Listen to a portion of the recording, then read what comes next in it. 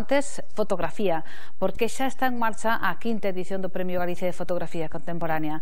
Un certame que busca impulsar as novas creacións dentro das artes visuais e promocionar os traballos de calidade dos seus autores.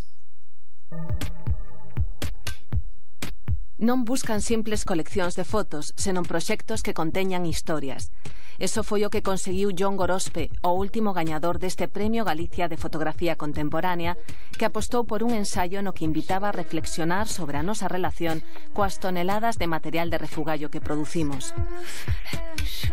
Eva Díaz, Berto Macei, José Romay ou Daniel Díaz Trigo completan o grupo de autores que recibiron este premio.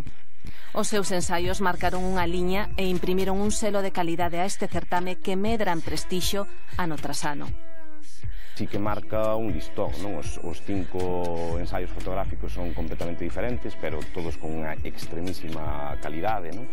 E entón sí que iso eh, vai marcando. Eso notámoslo, por exemplo, no primeiro ano non había un precedente, evidentemente, e entón había proxectos como moi dispares, e sí que xa a partir do primeiro ano, pois sí que se presentaban xusto aqueles ensaios fotográficos que estaban marcados pois nunha linguaxe contemporánea que é o que se procura nesta, nas bases que plantexamos e neste proxecto que é o premio.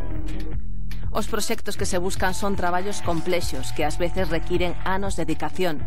Por eso o premio abriu as portas a todos aqueles ensaios realizados na última década. Son proxectos que non están pechados a case nada, nin na temática, nin nos soportes que se poden empregar, sempre que teñan como base a técnica fotográfica. O premio non está pechado a nada. Eh, plantes un premio fotográfico que, eh, de, de ensaios que se fagan con técnicas fotográficas.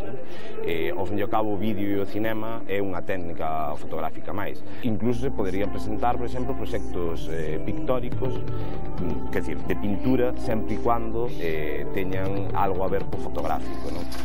Este premio tamén busca avanzar na difusión da fotografía contemporánea e por iso, aínda que ten un orzamento de 8.000 euros, eses cartos invertiránse na produción dunha exposición itinerante do traballo gañador e a edición dun fotolibro, como xa se fixo nas anteriores edicións.